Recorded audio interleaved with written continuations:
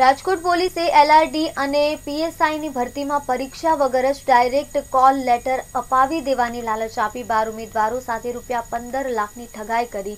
કૌભાંડ આચરનાર વધુ બે આરોપીઓની ધરપકડ કરી હતી. રાજકોટ પોલીસે ભરતી કૌભાંડના વધુ બે આરોપી કૃષ્ણા અને જેનિશની પૂછપરછ કરતા આ કૌભાંડમાં આરિફ સિદ્દીકી નામના ઈસમની પણ સંડોવણી હોવાની કબૂલાત કરતા પોલીસે તેની બેંગ્લોરથી ધરપકડ કરી હતી. આ અંગે વધુ તપાસ રાજકોટ પોલીસ કરી રહી છે.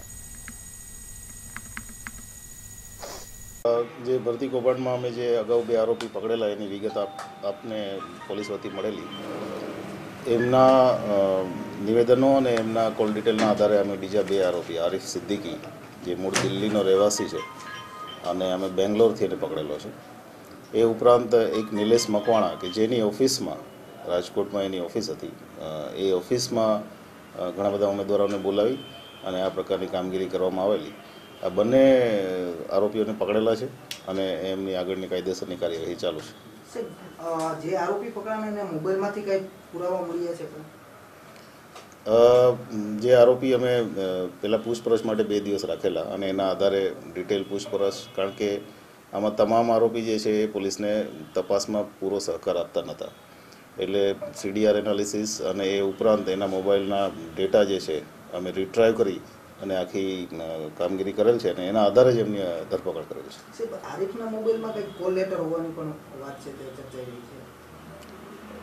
ફક્ત કોલ લેટર નહીં એમના કમ્યુનિકેશન પણ છે.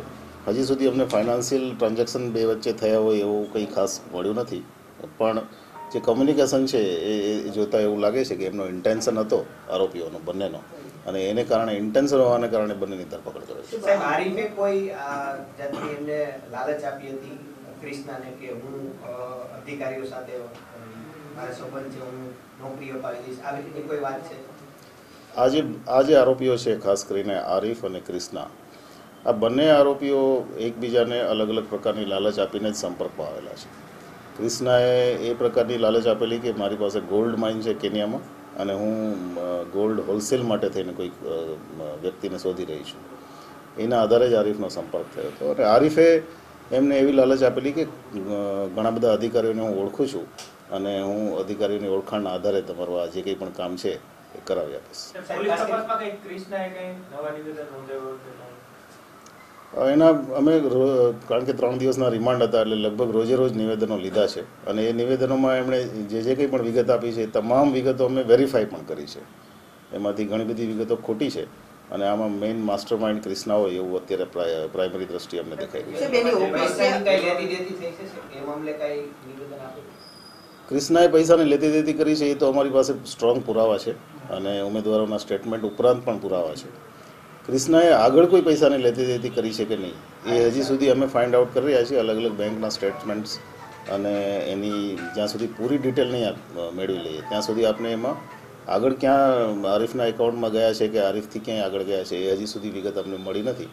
પણ ઇન્ટેન્શન એનો આરિફનો ક્લિયર દેખાઈ રહ્યો છે એટલે અમે અરેસ્ટ કર્યો છે. ઓફિસ રાખી હતી ઓફિસમાંથી કઈ મહત્વના પુરાવા એલઆરડી સિવાય અન્ય કઈ પણ મળ્યા છે? કઈ આવી બીજી ભરતીઓ અથવા તો?